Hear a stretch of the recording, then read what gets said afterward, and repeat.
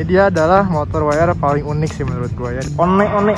Tapi ini bintang 3 sih ya. Masih dikejar helikopter nih. Ada perang mati. Waduh. Hey what is up and how's it going my fellow bikers Balik lagi dengan gua Fadil di channel Gram Motovlog And today kita bakal review lagi motor WR155 Supermoto Edition cuy ya Udah lama banget tinggal nge-review motor WR lagi sekarang kita mendapatkan kesempatan untuk mereview WR yang benar-benar beda. Ini bukan WR sembarang WR tapi dia modifannya unik banget cuy. Beda dari yang lain dan tentunya kece. Ini motornya ada di belakang gua. Tanpa banyak bacot langsung kita review. Nah ini dia penampakannya cuy. Kece nggak sih? Nah ini dia adalah motor WR paling unik sih menurut gue ya. Dan gue baru lihat juga WR modifannya seunik ini. Karena dia benar-benar beda dari bodinya cuy oke yang paling mencok ini bodinya sebenarnya ya. Nah kalau untuk bodi sampingnya ini dia masih pakai WR nih. Nah untuk depan sama belakangnya udah dia udah ngerubah nih cuy. Sebelum gue kupas tuntas bagaimana bodinya atau mereknya apa harganya berapa kita mulai dari kaki-kaki deh. Dari kaki-kaki dari bawah sampai atas nih cuy ya. Yang paling eye catching nih oke? Mulai dari sini dulu dari kaki-kaki dia pakai bannya Corsa ya cuy ya. Ini Corsa yang R93 ya tuh cuy. R93 ya. Untuk ukurannya dia pakai 150 per 60 ring 17 ya cuy ya. Itu harganya sekian lanjut ke bagian velgnya cuy. Nah untuk velgnya sendiri dia pakai velg dari Expedition warna hitam ring 17 untuk ukurannya 350 belakang ya cuy ya. Dengan harga sekian.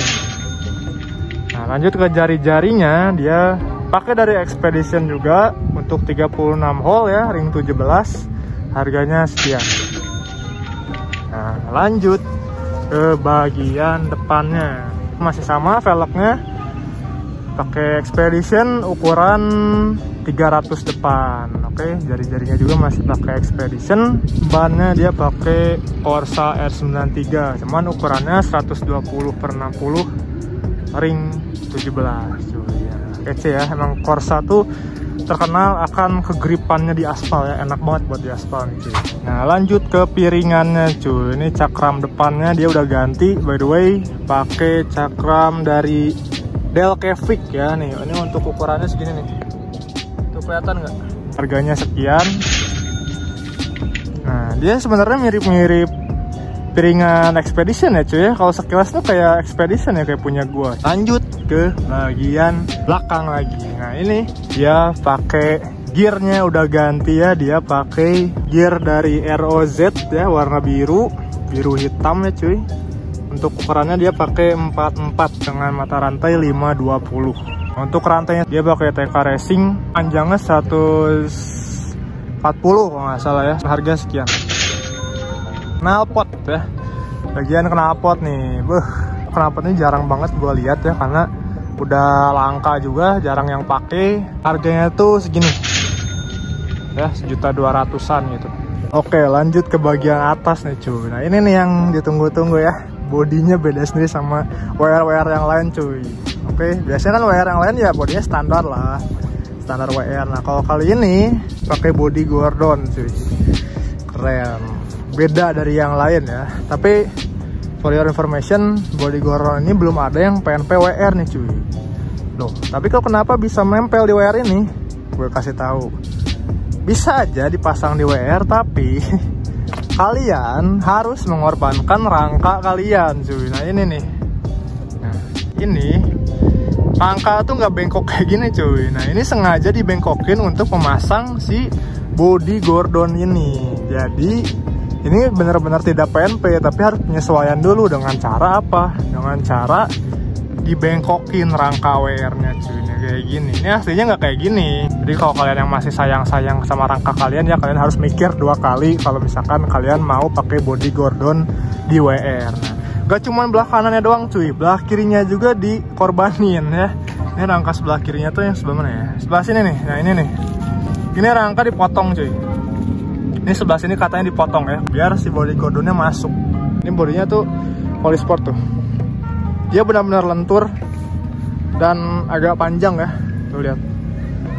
Jadi kalau misalkan kalian yang nanya bang nih nyiprat nggak ke belakang? Tetap nyiprat tapi nggak separah yang kalian pikirkan aja. Nggak separah gua lah. Harganya sekian ya. Jadi ini nggak PNPWR ya cuy ya. Harus penyesuaian lagi dengan memotong dan membengkokkan rangka dari WR kalian. Nah untuk sampingnya dia masih pakai body ori ya. Cuman yang beda sebelah sini nih. Nah spakbor dan papa nomor dia pakai spakbor dan papa nomor dari CRF 4,5 cuy. Cakep ya? Tuh.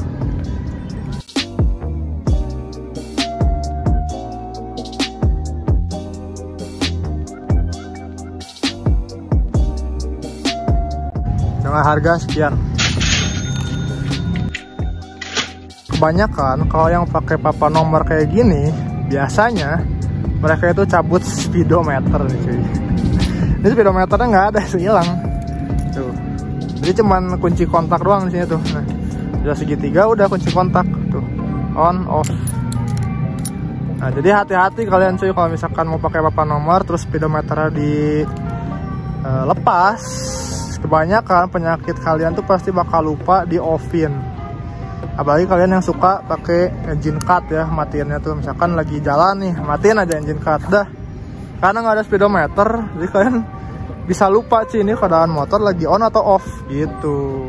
Makanya harus sering-sering ngecek ini kunci kontaknya ya apakah sudah off atau belum. Karena kalau misalkan kelupaan aki kalian bisa soak nanti. Sayang lah. Oke Nah, kenapa speedometer dicabut? Sebenarnya bisa aja kalian pasang speedometer ya di sini nih. Bisa aja pasang speedometer pakai papa nomor. Cuma nanti jadinya jenong cuy. Jadinya jenong, jadi jelek. Nah, kalau ini kan rapi tuh ya. Tuh, si lakukannya tuh bagus itu rapi sesuai dengan body wear juga ya sebelah sini. Nah, kalau pakai speedometer dia bakal gini tuh. Ini kan gini ya posisi. Nah, dia bakal gini. Dia bakal maju banget si papa nomornya. Jadinya kalau dilihat tuh kurang bagus gitu ya. Makanya banyaknya emang yang dicopot kalau pakai papan nomor. Dan hasilnya emang ganteng cuy. Ini kece banget cuy. Gue juga hampir pakai spakborin ya. Keren soalnya. Soalnya cocok ya kalau misalkan dekal gue pakai papan nomor kayak gini tuh bagus. Ini juga luntur ya dia. Tuh. Ya iyalah buat rem pasti lentur ya penyakitnya kalian harus ingat ya. Kalau misalkan nggak pakai speedometer kalian harus sering-sering ngecek kunci kontak apakah sudah on atau off. Gitu jadi jangan sampai cuman engine cut doang. Kalian harus cek.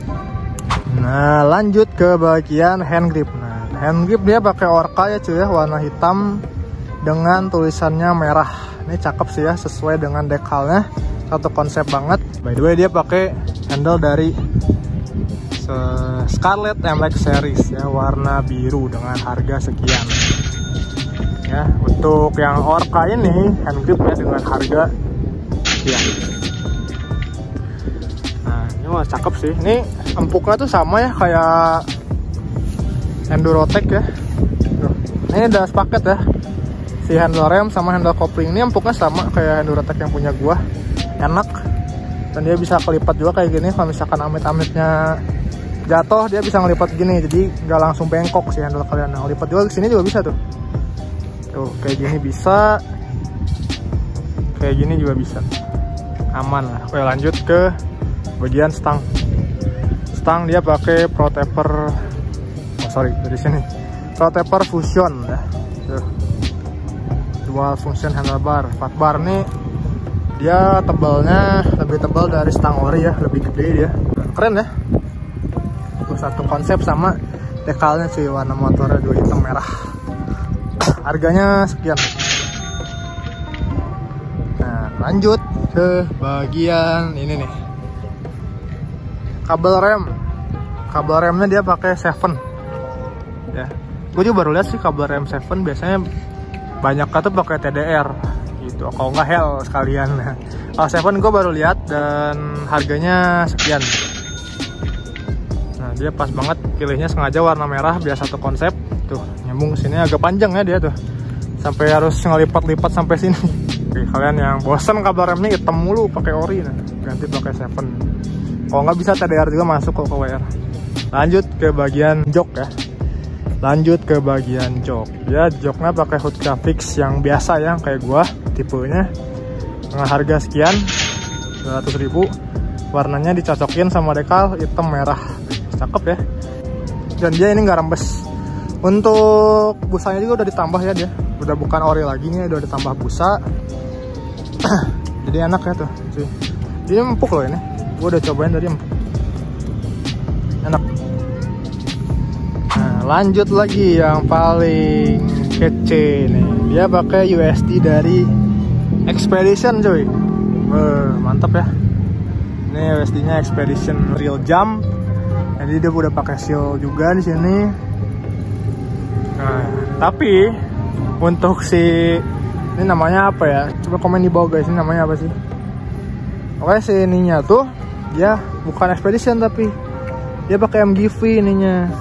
Beda ya jadi si tabung USD nya pakai Expedition nah ininya pakai MGV mungkin waktu itu dia pas banget sih ininya nggak ada warna merah. Pas ada warna merahnya tuh beda merek jadi jadinya beda merek gitu. ini Expedition ininya MGV warna merah. Sih cakep ya. Untuk harga USD nya harganya sekian. Oke lanjut cuy. Ini modifannya udah gue sebut semua ya. Nah sekarang kita bahas dekalnya cuy. Nah, Mungkin kalian yang nunggu-nunggu juga nih dekal kan Siapa tahu kalian yang bosen dekalnya itu-itu aja pengen ganti Terus bingung gitu inspirasinya dari mana. Kalian bisa nyontek dari sini ya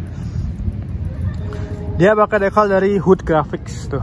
Tipenya NVC ya. Rapih, keren ya. Ala-ala Hood Graphics. Sini ada tulisan one-one dan dia nih nama yang punyanya. Lazan mirip-mirip ini ya mirip-mirip dekalnya Dublin. Dia ngikutin stylenya Dublin.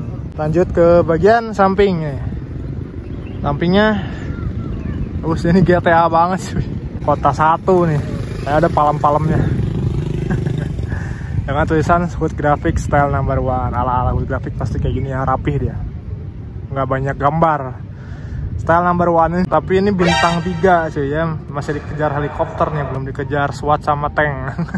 Ini Itali ya jadi mungkin terinspirasi juga dari warna Ferrari ya warna merah hitam jadinya disipin bendera Itali gitu cuy nah untuk sebelah sininya dia polos polosan warna hitam. Nah sampai sini baru ada gambar lagi. Dia one one one satu nine. Nah anjay. Dan ini ada bendera balap.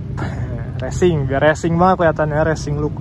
Nah di sini juga ada siluet dari kota satu lagi ya GTA waduh ini kayaknya penggemar GTA banget nih si Razan ya. Nah, lanjut ke bagian spakbor belakang. Ada dari logo-logo sponsor. Itu kan persis yang gue bilang tadi ada logo Ferrari nya cuy. Makanya ada gambar uh, negara Italinya ya bendera Itali. Nah ini logo Ferrari nya nih. Ada pragmatic play waduh. Buat yang tahu-tahu aja ya ini pragmatic play nih. Main nih. Bawahnya ada Orca, KSR, Yamaha dan Hood Graphics cuy. Rapi ya untuk sampingnya sama cuy. Samping kanan kirinya sama tuh. Rapi ya. Keren gitu. Hitam merah. Dan dia nggak terlalu over juga gitu sih dekalnya warnanya. Serasi. Rapih enak dilihat kecil Nah ini dekal untuk swing armnya ya seperti ini. Cuma ada tulisan Hood Graphics style number one ya. Biar minimalis lah. Kece Oke cuy. Segitu dulu aja Review dari WR155 Supermoto e. Bleh. Oke cuy. Itulah Review dari WR155 Supermoto Edition ini. Gua tadi udah jelasin modifannya apa aja terus mereknya apa aja ukuran dan beserta harganya. Nah, bagi kalian yang bosan warna gitu-gitu aja kalian bisa ngejiplak nih ya bisa niru jadi biar lebih unik lah WR kalian ya Tuh. Oke cuy untuk reviewnya segitu dulu aja Thank you for watching And misalkan kalian ada ide konten apa silahkan komen di bawah oke okay? Jangan lupa like, komen, dan subscribe Bye bye.